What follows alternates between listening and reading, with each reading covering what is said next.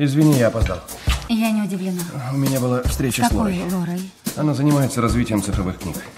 Прошу вас, Мне кажется, в издательском деле все боятся цифры как дьявола. вы должны ломать стереотипы. Как сильно?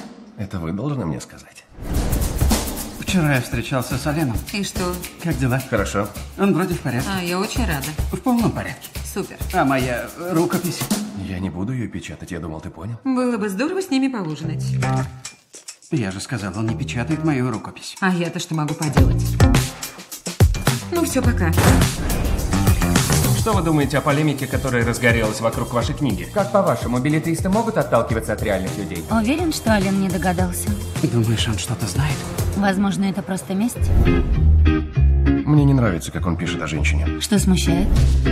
Относится к ней как к вещи. А может, ей это нравится? Продажи упали. С ума сойти, люди читают книги на смартфонах. Я не читаю на планшете. Ты вообще отсталая. Да пошел ты. Ты мне изменяешь, Леонор? А с чего, с чего ты взял? В супружеской жизни не все завязано на сексе. Предпочитаешь жить в лицемерии? Это не лицемерие, мы 20 лет женаты.